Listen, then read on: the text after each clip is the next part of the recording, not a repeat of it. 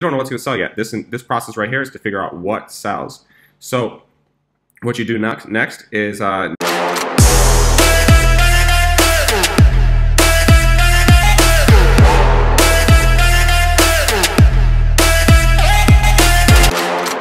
What's happening, people? So I just got done filming the super long process of everything that I was have been doing the last 10 months to generate $2.4 million. It turned out to be like 40 minutes long. So with that being said, I'm making a condensed version right here, something that you can consume super fast, maybe 10, 15 minutes max. I don't know how many people are to watch the other video.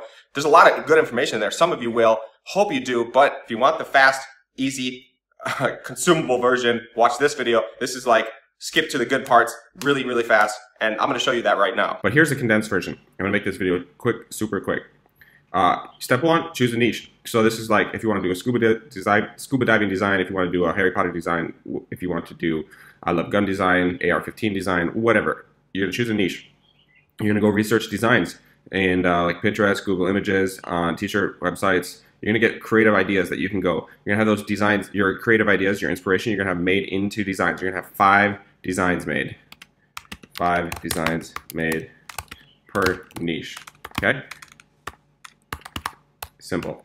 Then you're gonna take those five designs, you're gonna set them up on PPE Facebook ads. Very important, you choose post page engagement, not, not no other objective, post page engagement. You wanna use a 1200 by 1200 photo post. You wanna have three to five ad sets, and you're gonna set up all five designs with all three to five ad sets. Each ad set is gonna be 500 to 500K to 1 million audience.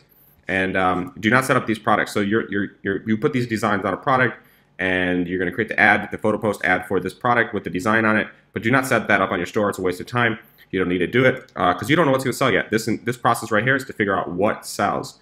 So what you do next is uh, mobile news feed only, USA only.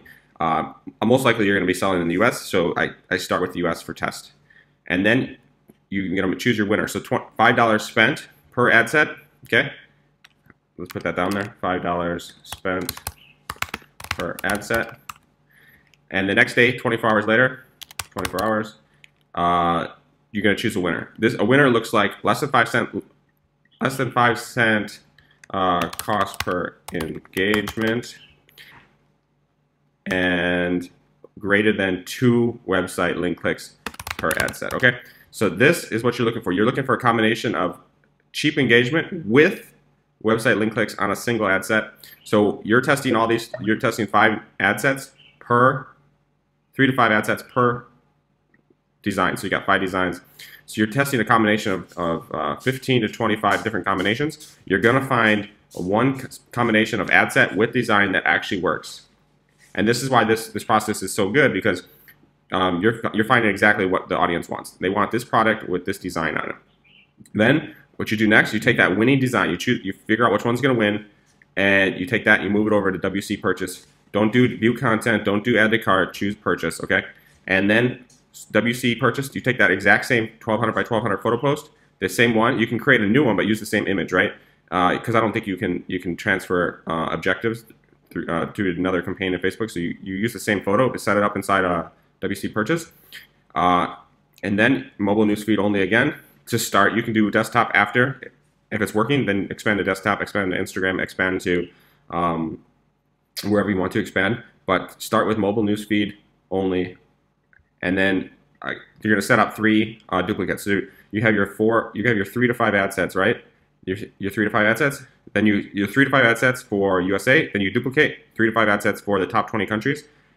This is based on GDP. Watch my longer video. I'll show you the countries and the top 20 countries uh, for worldwide. So you can target worldwide or targeting.